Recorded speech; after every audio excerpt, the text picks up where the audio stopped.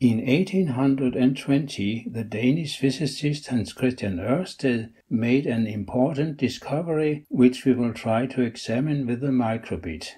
He sent a current from a voltaic pile through a wire close to a compass needle, and the compass needle moved. In this way, he showed that there is a connection between electricity and magnetism. Instead of using a compass needle, we will use a compass which is in the microbit. It is on the underside opposite to button B. I have taped a test cord as close to the compass as possible. To start with, I will use a program that looks like this. The program constantly measures the magnetic field that is near the microbit. When I press button A, the highest value measured is read out. When I press both A and B, the measurement is reset. By magnetic force, it is standard to measure in the x direction. Make sure to select strength so that there is measured in all three directions.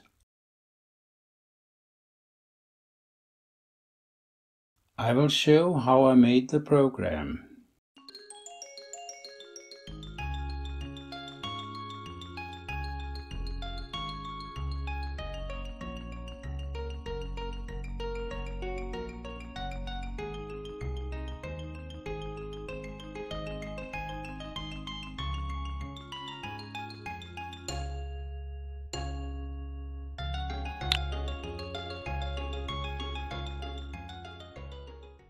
Here I choose strength instead of X.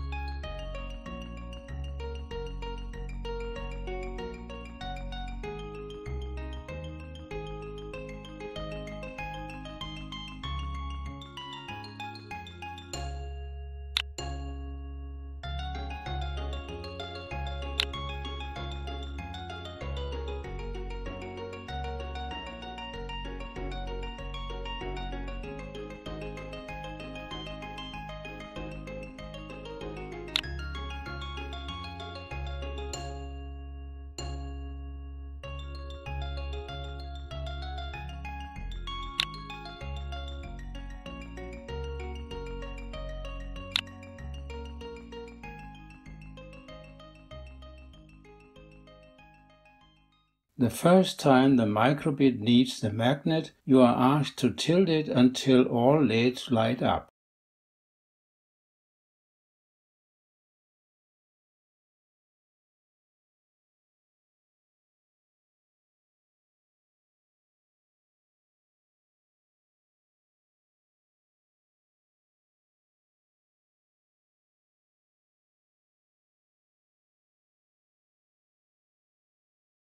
Now I connect the cord to 1.5 volts and press button A to read the magnetism. I also try with 4.5 volts. The experiment shows that magnetism occurs when a current flows through a wire, much like what Hans Christian Ørsted discovered.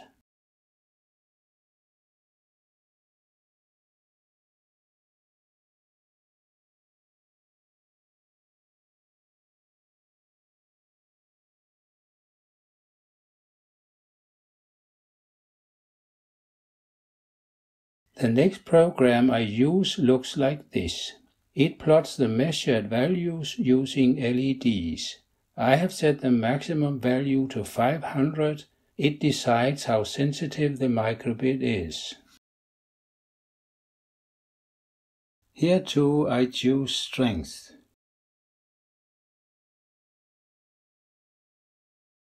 I try again with 1.5 volts and 4.5 volts.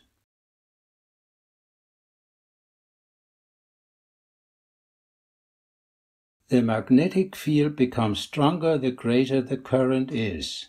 But if you wind up a wire like a coil, the effect becomes much greater. I want to make a coil by winding a thin copper wire around the nail. To protect the cord, I first apply a layer of tape. Then I wind 125 to 150 turns around the nail. My wire is insulated with varnish, which must be removed. I therefore burn the ends and scratch them with a flat pliers.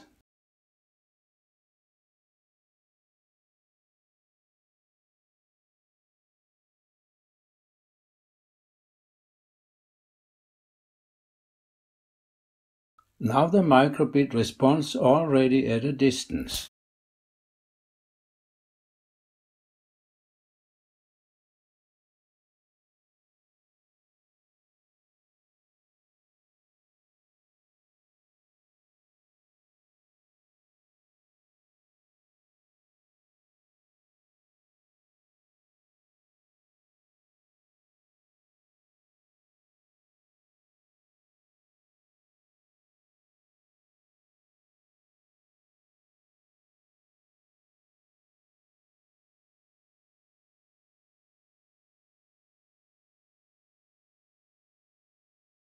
My coil can also lift clips. I have made an electromagnet.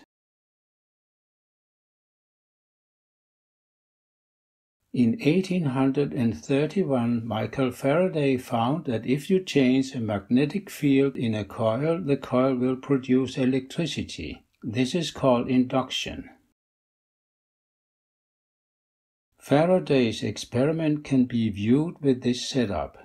Moving the magnet up and down the coil on the left induces a voltage that can be measured on the galvanometer on the right. Instead of the galvanometer, we will use a microbit. Instead of the coil, we will use a nail with 125 or 250 turns of copper wire. And then we need a powerful magnet. The red end is the North Pole.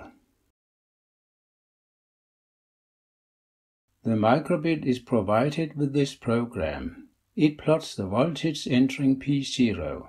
The voltage must be positive in relation to ground for a signal to occur. As I move the magnet back and forth at the nail, a voltage is induced. Here I have a better coil. Instead of the nail, I have used a ferrite rod. It contains a material that becomes particularly magnetic. When I move the magnet up and down at the coil, only the positive current to P0 is measured. Here I try different combinations of approaching and removing the magnet with both the north and the south pole. I also test if it makes a difference which end of the coil I use.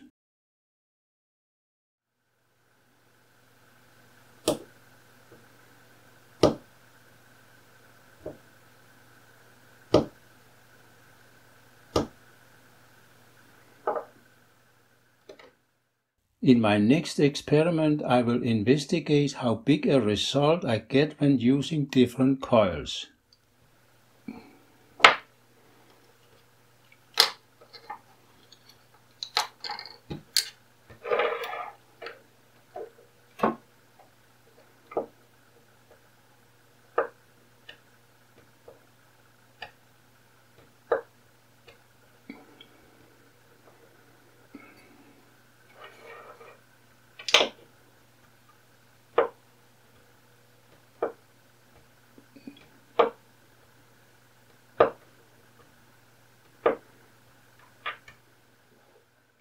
Now I have connected the microbit to a small DC motor with a propeller.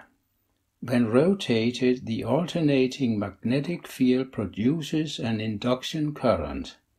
Here I examine the impact as I turn the propeller one way or the other. Now I provide the microbit with a program that converts the measured values to volts. The highest value measured is displayed when I press button A.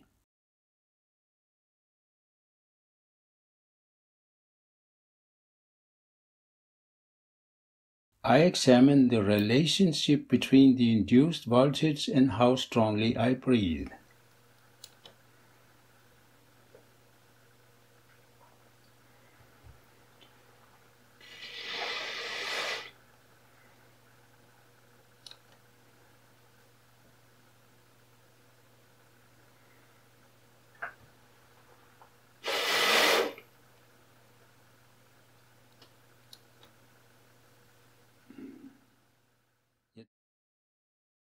I also check if it makes a difference which wire is connected to P0 and ground.